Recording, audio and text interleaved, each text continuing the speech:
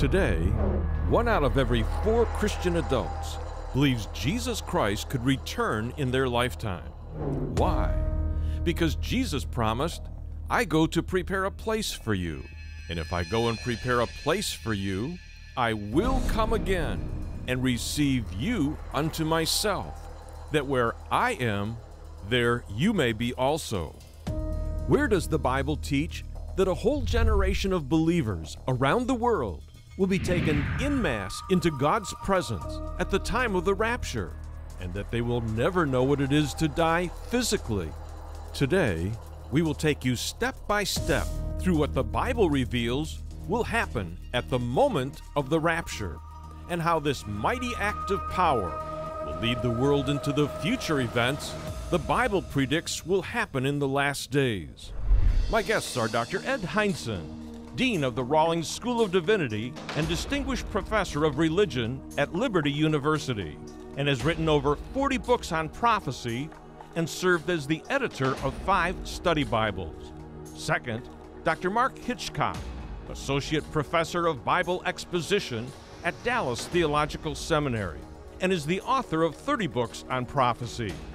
And third, Dr. Ron Rhodes, who also teaches at Dallas Theological Seminary and is the author of 70 books on prophecy.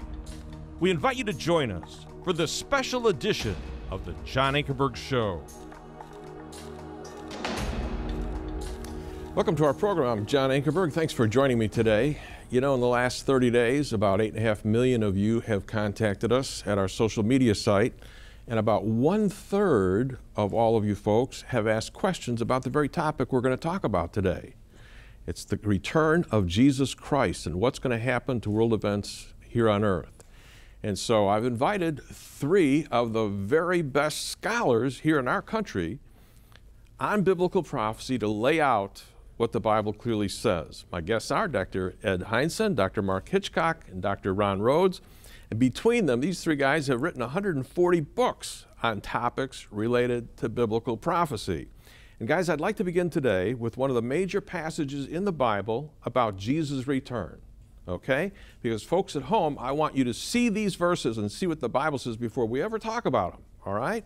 In 1 Thessalonians chapter 4, verse 13 through 18, the Apostle Paul wrote the church at Thessalonica, and he said this. He says, I would not have you to be ignorant, brethren, concerning them which are asleep, that you sorrow not, even as others which have no hope. For since we believe that Jesus died and rose again, even so, them also which sleep in Jesus will God bring with him. For this we say unto you by the word of the Lord, that we which are alive and remain until the coming of the Lord shall not prevent them which are asleep. Then he says, For the Lord himself shall descend from heaven with a shout, with the voice of the archangel, and with the trump of God, and the dead in Christ shall rise first. Then we, Paul includes himself, which are alive and remain, shall be caught up together with them in the clouds to meet the Lord in the air, and so shall we ever be with the Lord. Wherefore, comfort one another with these words. Dr. Ed Hindson, explain the background of this passage to this wonderful church at Thessalonica. What did they know, and what were their questions, and what was Paul telling them? Paul came there on his second missionary journey. He only spent three weeks in Thessalonica preached the gospel, planted the church, and taught them Bible doctrine, including the doctrine of the second coming of Christ. And part of that was that Jesus was going to return for them. The questions were what about the people who've died in the meantime? Have they missed out on the second coming? Uh, are they going to be disembodied spirits in eternity? Are they second class citizens? Are they going to miss the great reunion of believers that's coming in the future? What about those that have died in the meantime? what's going to happen to them in relation to us. Yeah. Mark, what was, what was he talking about? He says, I don't want you to be ignorant about those who are asleep. What does that mean? Well, a lot of people have mistakenly come up with the idea that it's talking about the soul, uh, that the soul is asleep, that the soul is kind of unconscious mm-hmm. uh, between the time you die and the time that the Lord comes. Uh, but there's a couple passages in Scripture, I think, that would tell us that the soul is not asleep during that interim period. In 2 Corinthians chapter 5 verse 8, Paul says, "I'd rather it's better to be absent from the body to be present with the Lord." I mean, Philippians 1.23 says, I have the desire to depart and be with Christ, which is very much better. So when a, when a believer in Jesus Christ dies, the immaterial part of that person, the soul, the spirit, goes immediately to be with the Lord in conscious fellowship with Him. And sleep is talking about the body. Uh, the body is asleep. Uh, lying in the grave, they're awaiting uh, the coming of the Lord, awaiting the Yeah, rapture. saying that the body's got a future. That's right. All right, now it says when that happens, those that sleep in Jesus will God bring with him. What's that all about?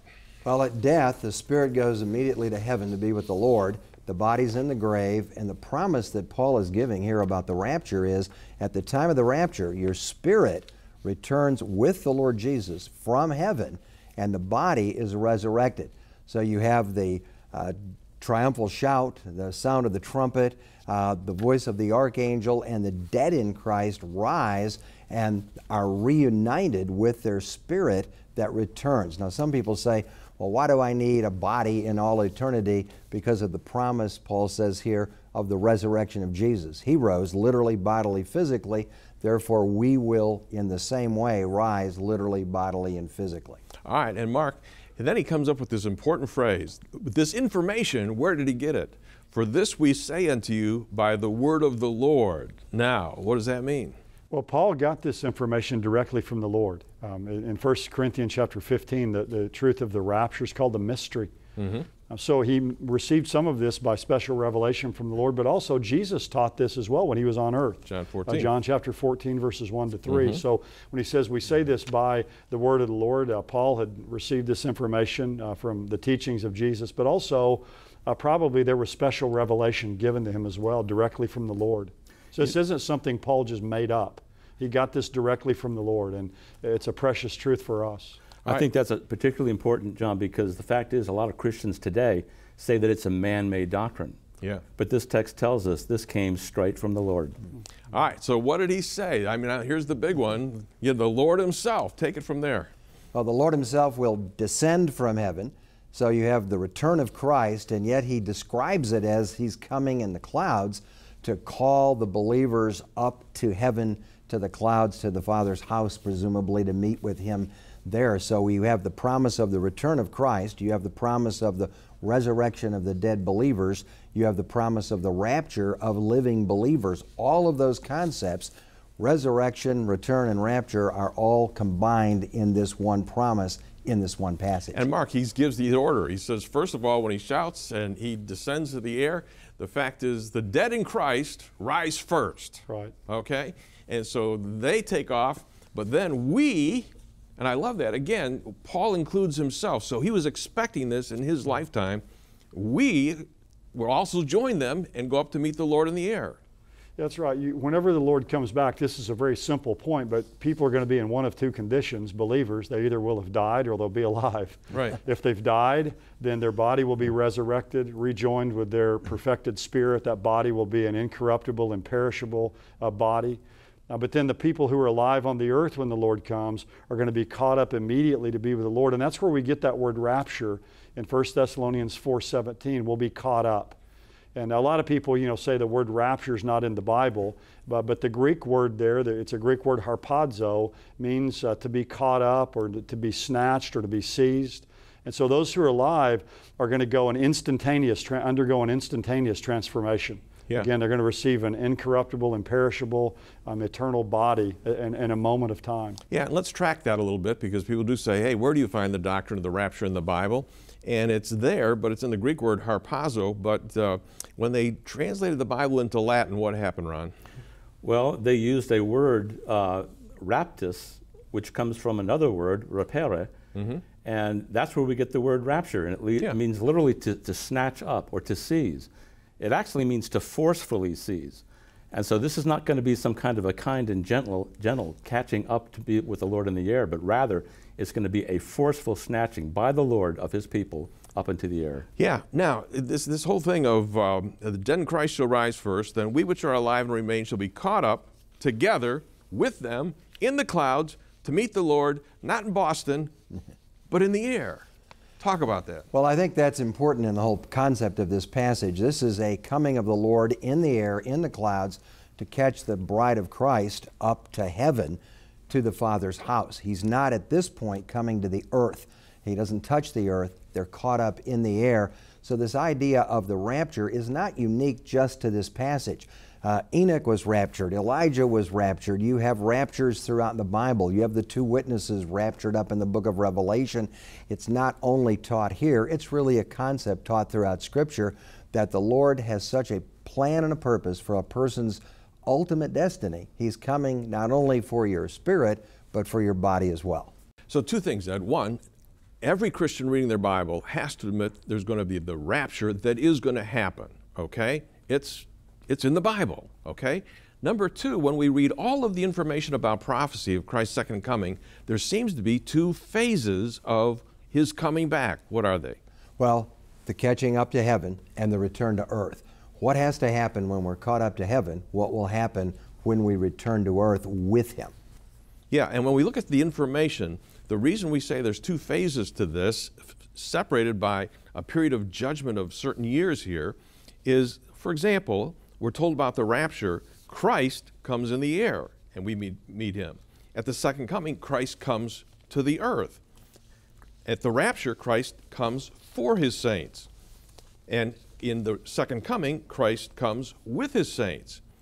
At the rapture, believers depart from the earth. At the second coming, unbelievers are taken away from the earth. At the rapture, Christ claims his bride. At the second coming, Christ comes with his bride. At the rapture, there are no signs. It's an imminent event, which we're going to see from other verses. At the second coming, it's preceded by a ton of signs that we're going to look at in Matthew 24. The rapture will occur in a moment, in the time it takes to blink an eye, and only his own will see him. Whereas at the second coming, he'll be visible to the entire world, and every eye shall see him. After the rapture, the tribulation begins. And after the second coming, the millennium begins. Now, these are just a few, and we're going to take another program. We're going to really develop those further. But just those differences tell us we got two phases of Christ coming back. Yeah, there are too many things for all of that to happen in one event. That's exactly uh, it's right. obvious it's got to be two. Right. But in spite of this, Christians hold to different views about when the rapture is going to take place and what it is. And so we're going to take a break. When we come back, we're going to talk about the different views that people hold about this. Folks, you won't want to miss this. Stick with us.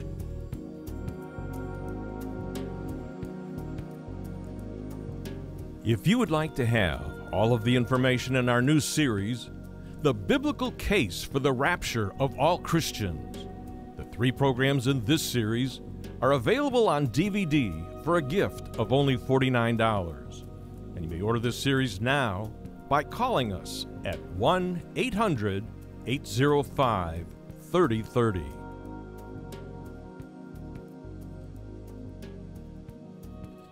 All right, we're back. We're talking with Dr. Ed Hindson, Dr. Mark Hitchcock, and Dr. Ron Rhodes about the rapture and the second coming. And there are four views that are held in the church about the rapture, and we want to talk about those. First of all, is that the rapture happens before the tribulation. It's called pre tribulation view. What is it? It literally means that Jesus will come in the rapture before the time of tribulation and judgment. Uh, the church will be caught away to the Father's house before he unleashes the judgments that are described in the book of the Revelation. Uh, Pre trib then believes in an imminent rapture. It could happen at any moment, at any time. Keep watching for me to come, keep waiting for me to come, keep an eye on the sky. Jesus could come back at any moment. Yeah. Ron, there's a second position of people that say you've got the rapture in the Bible, but I think it's in a different spot. There is going to be a tribulation, but we're going to put the rapture right in the middle. Okay, it's called the mid tribulation view. What is the mid tribulation view? Well, the tribulation is seven years in length. We see that from Daniel 9 27. So the mid trib view would be that the, the rapture takes place three and a half years into the tribulation. And so, what they will say is that the wrath of God falls in the second half, and the church is going to be raptured before that. The problem, of course, with that is that Scripture indicates that the entire tribulation period will be characterized by God's wrath. I'm thinking, for example, of Revelation 3:10, which says that the church will be delivered from the hour of trial the actual time period of the tribulation. The whole time period. The entire time period. Now, typically, what they'll try to argue is they'll compare the trumpets in 1 Corinthians 15 with the trumpet in Revelation 11:15, and you've got the seventh trumpet and the last trumpet. And since the seventh trumpet in Revelation, you know, takes place in the middle of the tribulation, why that must mean that the rapture in 1 Corinthians 15 must take place at the midpoint of the tribulation. The problem with that is that these are two entirely different contexts. When you look at the book of Revelation, the trumpet unleashes the seven bowl judgments. It unleashes the wrath of God, whereas in 1 Corinthians 15, the trumpet has to do with the rapture, the catching up of the saints to meet the Lord in the air. And if you continue your study of trumpets, which I have, you'll see that trumpets are often used in a whole variety of different ways in the Bible. And so that's really an illegitimate uh, way to argue for the mid trib position. And when you take a literal approach to the trumpets, to the wrath of God, to the hour of trial from which the church will be delivered, you can't come out mid trib. The pre tribulational view is the only one that fits with a literal interpretation of the rapture. Dr. Mark Hitchcock, there's another one that's close, but not exactly the same. It's called the pre wrath view. What's the difference between that and the mid tribulation view? Well, the pre-wrath view is really the newest, really, of these various views, and basically it's kind of a three-quarter rapture position. They believe that the rapture will happen about five and a half years into the seven-year tribulation, and they place the rapture of the church between the sixth and seventh seal judgments there in Revelation chapter six. And so what they basically say is, is that the first five and a half years of the tribulation is not God's wrath. It's the wrath of man um, it's the wrath of Satan. And the God's wrath is kind of compressed just into that last quarter uh, of the tribulation period. So we will be raptured or caught up uh, before that period of time.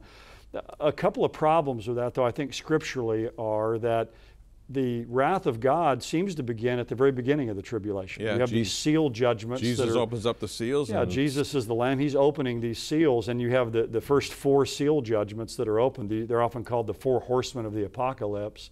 And uh, while those are, are, war and famine and, and, various things like that, they're still being uh, directed and unleashed uh, by the Lord Himself.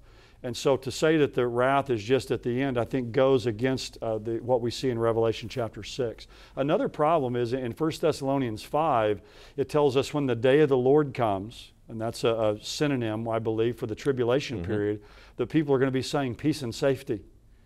Well, it seems odd with you get to the between the uh, sixth and seventh seal judgments for people to be saying peace and safety at that time. You've already been through these first five seals. Just in the fourth seal alone, a fourth of the earth dies.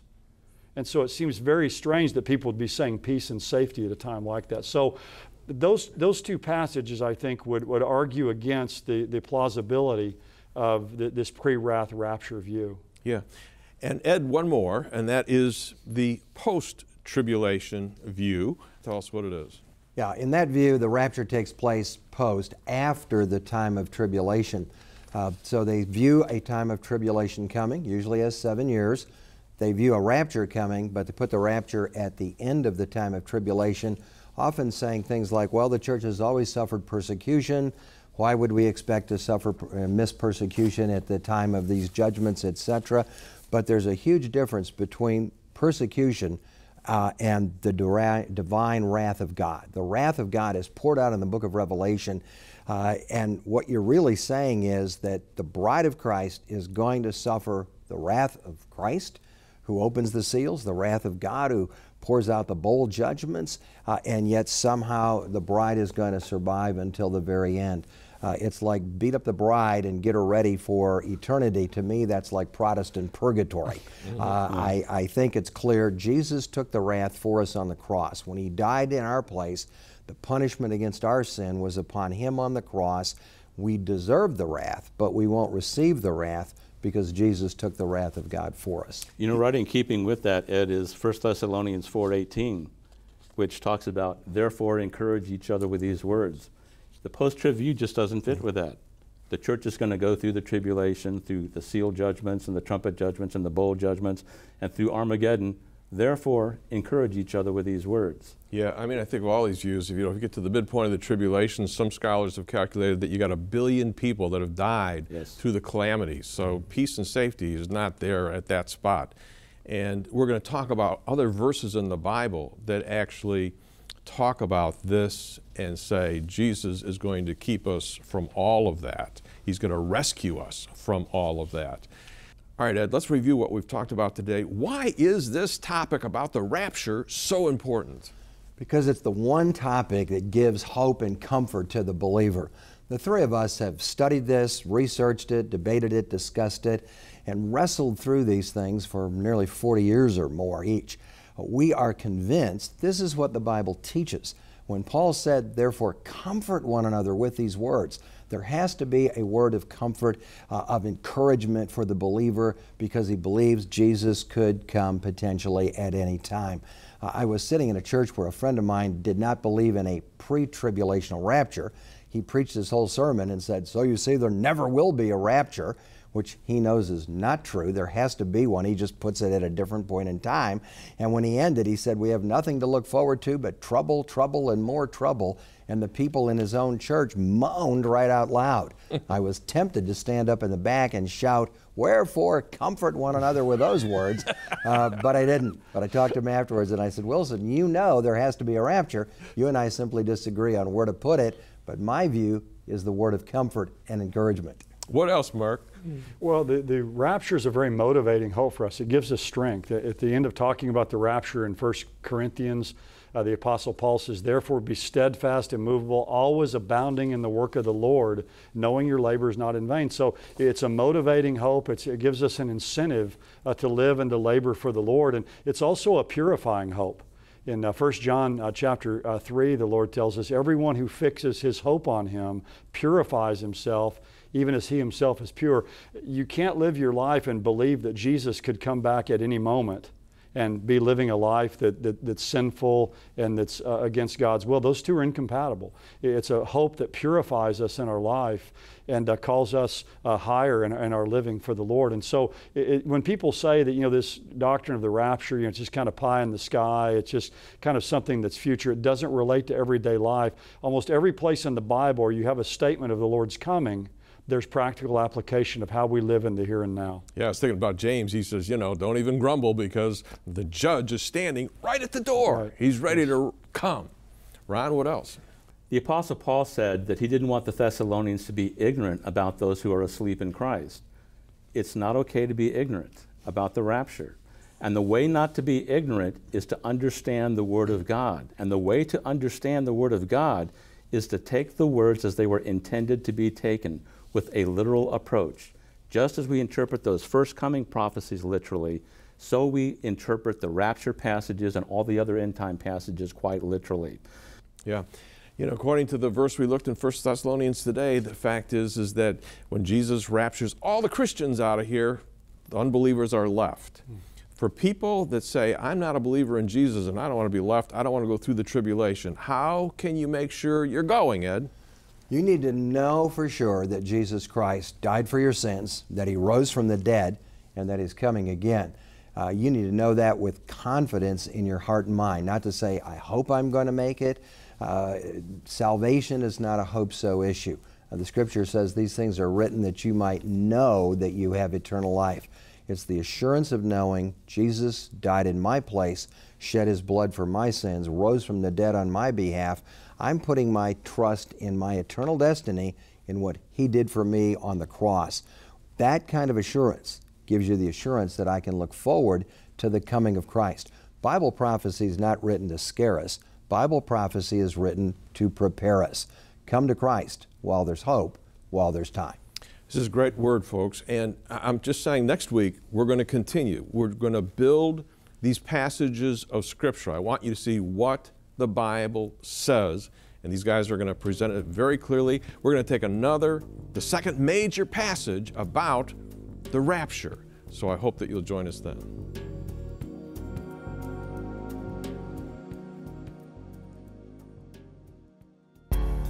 If you'd like to have all of the information in our new series, The Biblical Case for the Rapture of All Christians, the three programs in this series are available on DVD for a gift of only $49. You will learn how millions of Christians will suddenly be missing from the earth to meet Jesus in the air and be taken to heaven. and why the power of world leadership will shift away from the United States to the European continent. We're also offering a second series called The Five Great Events of the End Times, which answers the questions When does the tribulation start? Which nations come against Israel? When will the Antichrist be revealed? What is the mark of the beast? Will America be involved in the Battle of Armageddon? The three important programs in this series are also available for a gift of $49. And finally, we are also offering our new book entitled The Most Asked Prophecy Questions What the Bible Says About End Times and Why It Matters Today. This 121 page book contains concise biblical answers to 78 prophecy questions I asked the late Dr. Renald Showers during a private 14 hour TV discussion. Most prophecy scholars who knew this professor loved listening to his in depth study of a lifetime filled with scholarly study of biblical prophecy. This is a timely book, and you may order it now for a gift of $15. But then today, if you wish to have both DVDs and our new book, you may order them for a gift of $100. And you may order them now by calling us at 1 800 805 3030. That's 1 800 805 3030. Or if you wish, you may give your gift at our website at jashow.org, where we have a secure place for you to give your gift. That's jashow.org. And then, for those of you who live in Canada, you may call us at 1 866 746 5803. That's 1 866 746 5803. And our Canadian website is jashow.ca. And when we receive your gift, we'll send you a receipt and a personal thank you. Finally, keep in mind that all of our TV programs are available online as digital downloads at our website at jashow.org or jashow.ca.